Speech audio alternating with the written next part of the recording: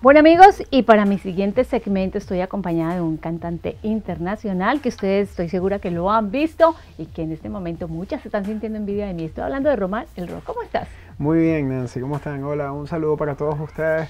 Súper encantado de estar aquí en tu programa. Eh, y bueno, trayéndote buenas cosas, buenas noticias, buena música a toda Latinoamérica eh, y del corazón para el mundo. Definitivamente, porque es puro corazón. bueno, hablemos un poquito de tus inicios. Bueno, eh, mis inicios. Eh, toda mi familia son músicos. Eh, me inicié como actor en Radio Caracas Televisión porque hice también teatro. Empecé en dramáticos bajo una novela que se llamó Reina de Corazones. Estaba muy, yo muy, muy, muy, muy niño. Y luego después hice, aunque me cueste la vida, Mario Luisa Fernando, todo este, todo este tipo de cosas. Empecé como extra, pasé por modelo, pasé por relleno, pasé por, actor de reparto, después, bueno, ya que al final cuando ya iba a ser actor, actor, así que me, iba a dar un... Cerró el canal. No, pues, cuando llegaba Pero bueno, ok, bueno, no, no hay problema. Luego de ello, este, bueno, pasé a la faceta de la música. Todos mis primos estaban allí en la orquesta, tocando para la orquesta Simón Bolívar y toda esta broma en conservatorios musicales. Y obviamente, bueno, mi familia, todos son músicos y mi abuelo fue el fundador de, una, de, un conservatorio musical muy importante en Venezuela, Nicolás Curiel Cutiño, en el estado Falcón. Y de verdad que toda mi familia se levantaba y se acostaba con música. Entonces, bueno, allí fue, fueron mis inicios en realidad. Eh, luego de allí eh, partí con una agrupación llamada Entre Líneas, la cual duró ocho años. Eh, Entre Líneas éramos cuatro muchachos, hacíamos canciones con música vocal polifónica, a voces. Y eso fue una gran experiencia y una gran escuela para mí, ¿no? Para mi aprendizaje. Luego sentí que, que todo cumple un, ciclo, y dije, bueno, ya es mi, es mi hora, es mi tiempo y vamos, vámonos como solista, ¿no? Ya llevo cinco años como solista. Eh, me inicié como solista con una canción que se llamó Adrenalina. La lanzamos a ver qué, cómo, cómo, cómo tanteaban las cosas. Con ellos también iban creciendo que si todo este asunto de las redes sociales. Y bueno, sea, de verdad que... Éxito total. Eh, sí, y, sobre todo que las cosas llegan en su debido momento, cuando Dios diga. Eh, Así es. Y, y, bueno, esos fueron mis comienzos. Pero el, canto siempre estaba, o sea, a pesar de que toda tu familia cantaba, ¿empezaste en la actuación porque era prioridad en ti el actuar o el canto siempre venía a la venita por ahí? porque tú sabes que como, bueno, yo veía mucho televisión. Y como yo veía mucha televisión de niño, yo quería estar allí en televisión. Y decía, Dios mío, pero, pero si ellos pueden, yo también puedo. ¿Sabes? Entonces yo decía, bueno, pero, o sea, ¿pero qué tengo que hacer para estar claro? Entonces me empecé en periódico oye, cursos de actuación, que se no sé qué más y tal.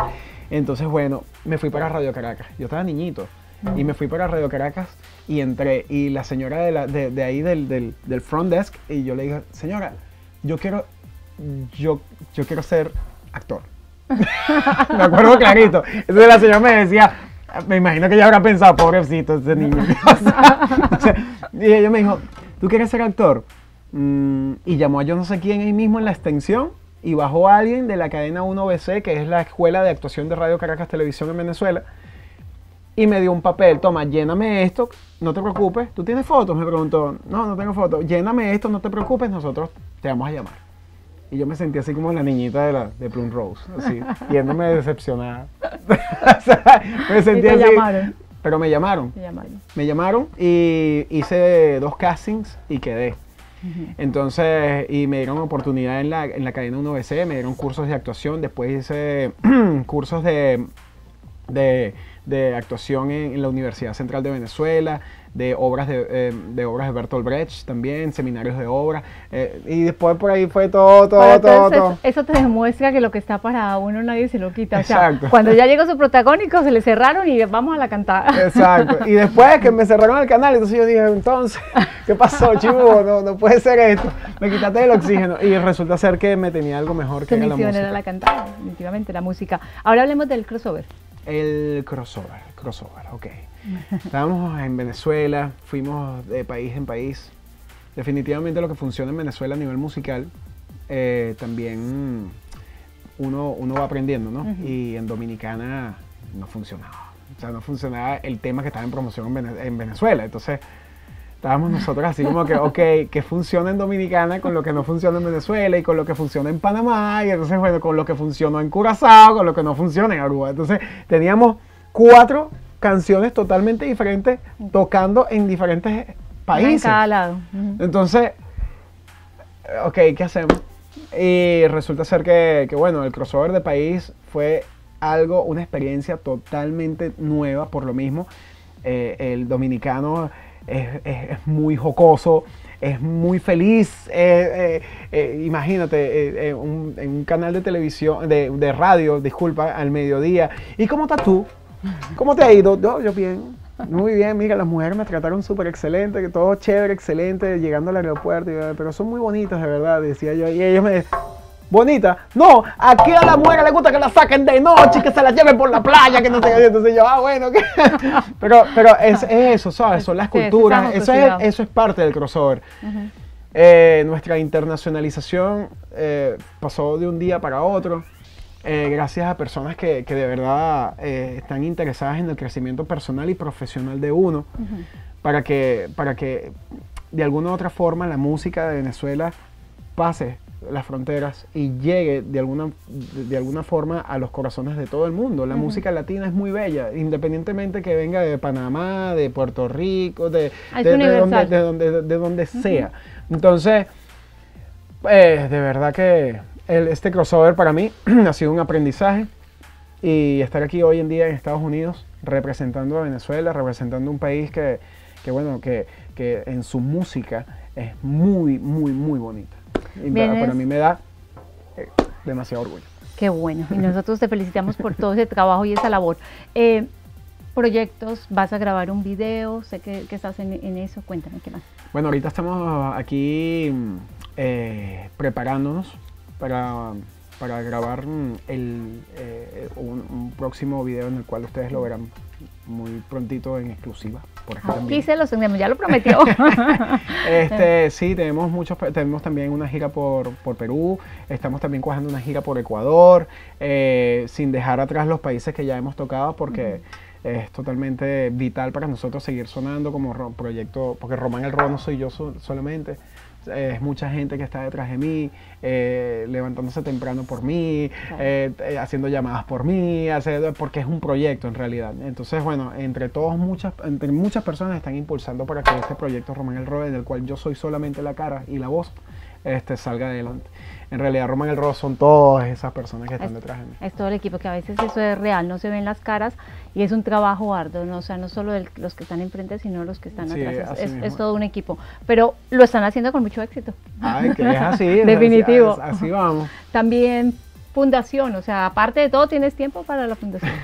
bueno, sí, este, pienso que la fundación es lo que me mantiene atado al piso. Eh, eh, tengo una fundación con mi, con mi equipo de trabajo también, en el cual se llama Fundación Corazones por la Vida, la cual inició en el 2008 eh, como, como un concierto, porque ya existía anteriormente también como un concierto televisado en Venezuela. este, desde la parte del 2008 empezamos a hacer un concierto de calle, que nosotros cerrábamos, cerrábamos en Venezuela una calle súper grande que se, que se llama Las Mercedes, que queda en Caracas, y allí montábamos en un solo día más de 20 artistas. Recogíamos mediante potecitos para poder agarrar y poder donarlos a casas hogares, a casas que se, que, se dedican al cuidado de niños con síndrome de Down, cáncer, SIDA, autismo, en niños con situación de riesgo de calle. Y bueno, yo decidí embudar a todos mis amigos y llamarlos a todos los artistas y decirles, mira, vamos a ayudar. y todos me decían, y, todos me decían, bueno, bueno, está bien, Román, ¿para qué fecha? Para, bueno, el, corazón es por la vida va a ser tal fecha. Y me dediqué a eso también con el Corazón por la Vida. Hacemos seminarios en contra del maltrato a la mujer y en contra del maltrato al niño también. Este, todo lo que se pueda embudar dentro de la fundación, que sea ayuda para un tercer, para un tercero, una tercera persona, nosotros ahí estaremos. Nosotros estamos en, en, la red social con la fundación como arroba fundacorazones. Entonces, bueno, ellos, en la cual solamente yo también soy la imagen de la fundación, porque la fundación es demasiada gente en esta partida de este momento, eres tú también. Así estoy ya comprometida, eh, encantada. Comprometida. Encantando lo que podamos ayudar. Bueno, pues te felicito. De verdad que un éxito. Me encanta tu música, me encantan los videos. Súper. Gracias. Mucha Nancy, suerte de verdad, en los próximos y gracias. además ese lindo corazón con la fundación.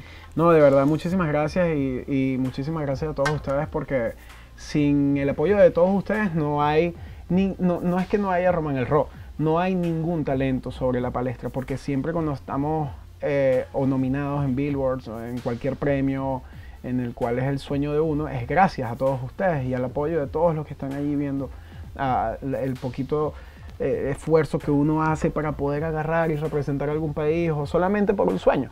Entonces, bueno, de verdad muchísimas gracias a todos ustedes. Yo soy Roman El Ro. Eh, estoy en las redes sociales como, como arroba, rom- arroba Roman el RO, Roman el Ro. Y así me pueden encontrar en absolutamente todas las redes sociales Roman el Ro. Les ponemos la información en pantalla. Ya saben, todo lo que quieran saber sobre él, ahí lo tienen. Muchísimas gracias. Un encanto. Gracias, Nancy. Ustedes no se me vayan porque continuamos con mucho más aquí en el show de Nancy.